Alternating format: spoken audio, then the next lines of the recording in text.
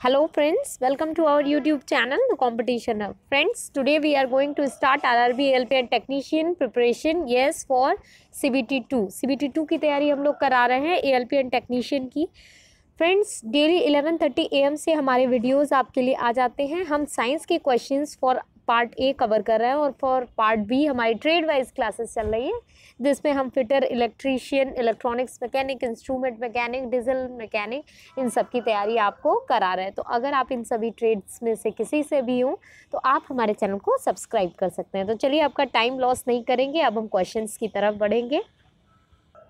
चलिए first question हमारा telescope की खोज किस वैज्ञानिक ने की थी? टेलीस्कोप की खोज किसने की थी? Newton James Watt Humphry Davy या गैलीलियो तो इसका करेक्ट ऑप्शन है डी गैलीलियो नेक्स्ट क्वेश्चन निम्नलिखित में से किसमें नेगेटिव चार्ज होता है? नेगेटिव चार्ज किसमें होता है? चलिए ऑप्शंस देखते हैं हम लोग. X rays alpha rays beta rays या गामा रेस देखिएगा.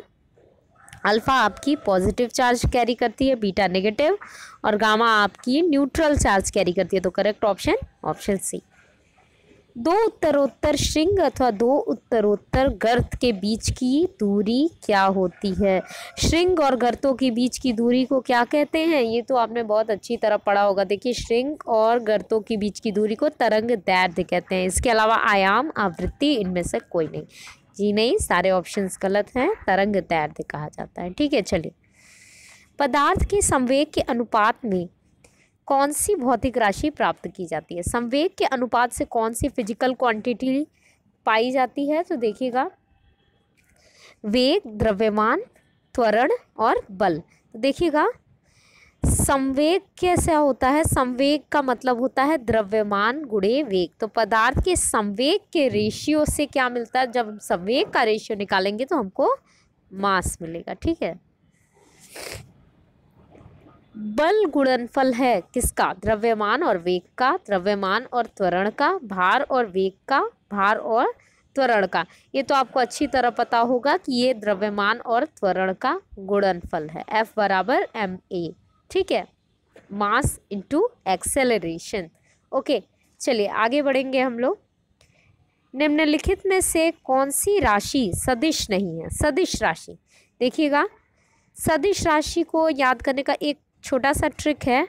वी या बी यानी व या ब। इससे जितनी भी राशियाँ होती हैं, वो नाइन्टी नाइन परसेंट क्वांटिटेटिव होता है, ठीक है? तो सॉरी क्वांटिटेटिव नहीं होता है, आपका डायरेक्शनल होता है, सदिश राशि, ठीक है? तो जितनी भी ये होती है व या ब वाली, वी या बी वाली, वो सारी सदिश राशियाँ होती हैं, ठीक है? तो इसमें देखिए, ये व वाला है, ये व वाला है, ये ब वाला है और ये आ से शुरू हो रहा है, यानी आयतन, यही जो है आपका अदिश राशि है, स्केलर क्वांटिटी। इसने कहा है कि कौन सी? स्केलर क्वांटिटी है तो ये स्केलर क्वांटिटी है। चलिए, आगे बढ़ेंगे। एक किलोमीटर दूरी का तात्पर्य है। एक किलोमीटर की दूरी, एक किलोमीटर, यानी एक हज़ार मीटर। बहुत आसान क्वेश्चन आगे बढ़ेंगे। त्वरण ज्ञात करने का सही फॉर्मूला क्या है? त्वरण ज्ञात करने का फॉर्मूला देखिए, ये आपने पढ़ा होगा ए बराबर V minus U by T नहीं पढ़ा है तो याद कर लीजिए। इसके अलावा बाकी कोई भी फॉर्मूला सही नहीं है, ठीक? ये v बराबर यू प्लस ए टी होता है, ये माइनस वाला सही होता है, ये प्लस वाला गलत है। यहाँ पे होता है v बराबर यू प्लस ए टी ये भी गलत है, ये भी गलत है। तो इस तरह से आपका सारा गलत है। चलिए, ये दोनों तो सेम ही दे दिया है। चलिए, ये टू है, ये टी है, ये दोनों ही गलत है। चलिए, आगे बढ़ेंगे। सल्फ़र हेक्साफ्लोराइड अणु का आकार कौन सा होता है? सल्फ़र हेक्साफ्लोराइड का आकार होता है अष्टफल की, ठीक है? ऑक्टागोनल नेक्स्ट क्वेश्चन एक तत्व एक्स की बाह्यतम कक्षा में चार इलेक्ट्रॉन है। हाइड्रोजन के साथ इसके यौगिक का कौन सा सूत्र होगा? देखिए, इलेक्ट्रॉनिक स्ट्रक्चर आपको बहुत अच्छी तरह सबका पता होना चाहिए। कन्फिग्रेशन कैसा होता है। एक बार आपने सीख लिया तो आप उसको बना लेंगे। तो ये तो आप लोगों ने पढ़ा होगा। यहाँ पे आपने टेक्निकल में, केमिस्ट्री में भी पढ़ा होगा और अगर आप इंटर किए हुए हैं तो आपने वहाँ भी बहुत अच्छी तरह पढ़ा होगा। तो इसको तो आपको ज़्यादा समझने की ज़रूरत नहीं है। चलिए ऑप्शन देखेंगे हम लोग. X four H X four H four X H three X H four तो इसका करेक्ट ऑप्शन है एक्स एच फोर ये, चलिए आगे बढ़ेंगे. तीसरे और चौथे समूह के ऑक्साइड का सामान्य गुणधर्म क्या है? बेसिक प्रॉपर्टी क्या है इनकी? जनरल जो प्रॉपर्टी होती है इनकी, तीसरे और चौथे ग्रुप के ऑक्साइड का. तो देखिएगा बेसिक एसिडिक बेसिक या एसिडिक या फिर न्यूट्रल। तो कौन सा इनका गुणधर्म होता है? इनका दोनों ही होता है, बेसिक और एसिडिक। चलिए, करेक्ट ऑप्शन इज़ ए। जिस तत्व के परमाणु में दो प्रोटॉन, दो इलेक्ट्रॉन, दो न्यूट्रॉन हो, उस तत्व की द्रव्यमान संख्या कितनी होती है? देखिए, द्रव्यमान संख्या का एक फॉर्मूला होता है E is equal to P plus N. तो पी आपका दो, एन आपका दो तो द्रव्यमान संख्या आपकी हो गई फोर, ठीक है? ऐसे आप कैलकुलेट कर सकते हैं। तो करेक्ट ऑप्शन आपका हो गया बी चलिए, बढ़ेंगे नेक्स्ट क्वेश्चन की तरफ़। निम्नलिखित में से कौन सा इलेक्ट्रॉनिक संरूपण धातु तत्वों के लिए होता है? मेटालिक एलिमेंट्स के लिए कौन सा इलेक्ट्रॉनिक कन्फिगरेशन होता है? इनमें से कौन सा है? ये पहचानना है आपको।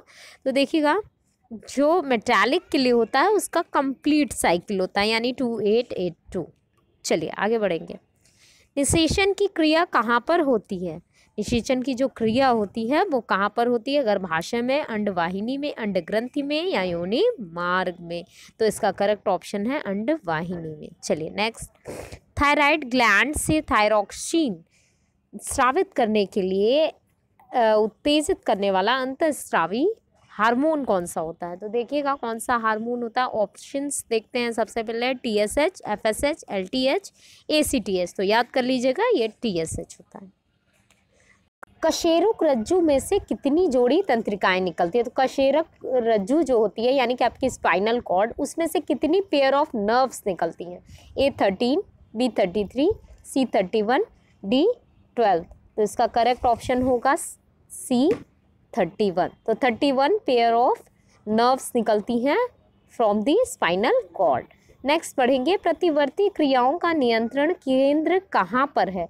जो प्रतिवर्ती क्रियाएँ हैं उनका जो कंट्रोल uh, सिस्टम होता है वो कहाँ पे होता है? तो देखिएगा प्रमस्तिष्क में अनुमस्तिष्क में कशेरुक रज्जु में या तंत्री कोशिका में। तो इसका करेक्ट ऑप्शन है कशेरुक रज्जु में सारा कमांड यहीं से रहता है कंट्रोल यहीं पे रहता है आपके स्पाइनल कॉर्ड में।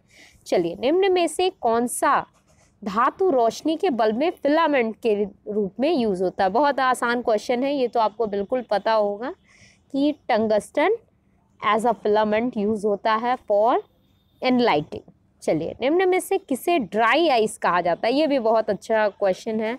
ठोस कार्बन डाइऑक्साइड को ड्राई आइस कहा जाता है। चलिए, निम्न धातु में से कौन सा सामान्य ताप पर द्रव होता है? सामान्य ताप पे लिक्विड में जो रहता है, वो कौन सा होता है? ये भी बहुत अच्छा क्वेश्चन है। पारा नेचुरल टेम्परेचर पे लिक्विड फॉर्म में होता है। ओके तो ये बहुत अच्छा क्वेश्चन था। ये था आज का आपका सेशन नेक्स्ट सेशन में हम फिर क्वेश्चंस लेकर आएँगे। कल ट्रेड वाइज क्लासेस चलेंगी। Thanks for watching